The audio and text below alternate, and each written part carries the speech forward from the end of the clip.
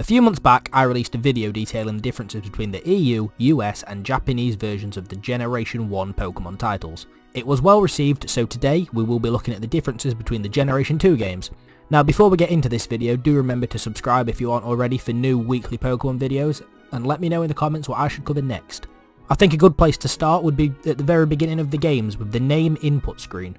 On screen now you can see the inputs for the Japanese, Korean and international releases. The Japanese name tiles are higher than in other versions. The international release allows for 7 characters to be entered while the other two only accept 5. Let's stay looking at these menu screens now and move over to the Pokemon menu screen.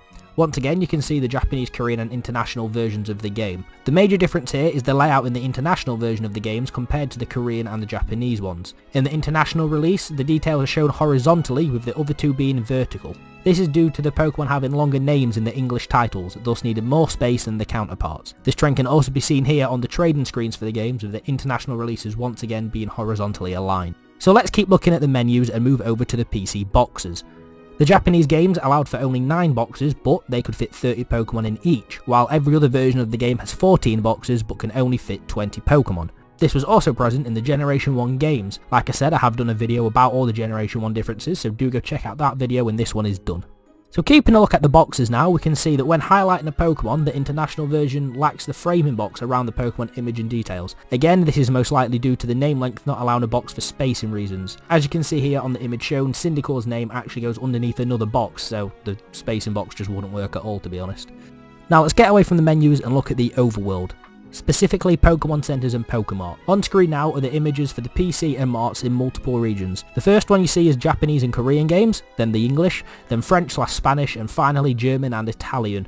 The European titles are all essentially the same, just with the names of the Pokemart changed slightly. Yet, the Japanese and Korean titles have the Pokeball logo on the Pokemon Center. Now speaking of Pokemon Centers, let's go to the Japanese version of Pokemon Crystal and go all the way to Goldenrod City, the Pokemon Center here is actually the Pokemon Communications Center. This was a larger building and the outside of it had the Pokeball logo with the letters PCC written on it. The inside of the building is also much larger as this is where trading was meant to take place between the games. Next up let's check out some battle sprites and animations. First up is trainer sprites.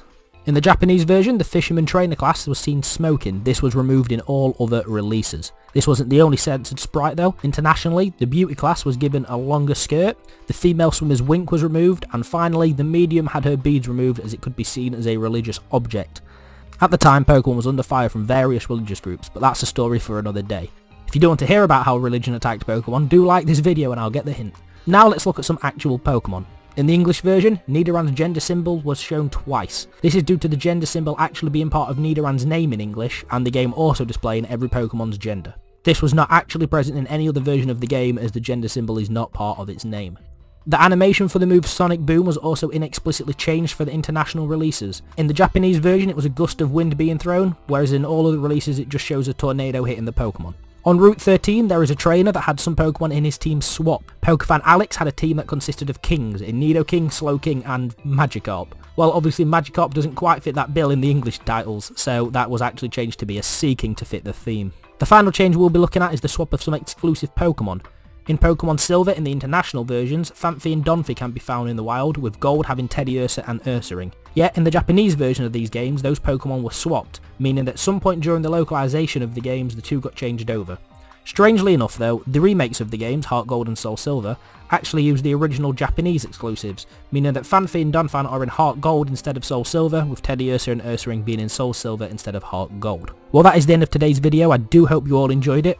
If you did, please remember to like, comment and subscribe. It is a massive help for me and it makes me want to make more videos like this for you. I'll see you all in the next one. Peace.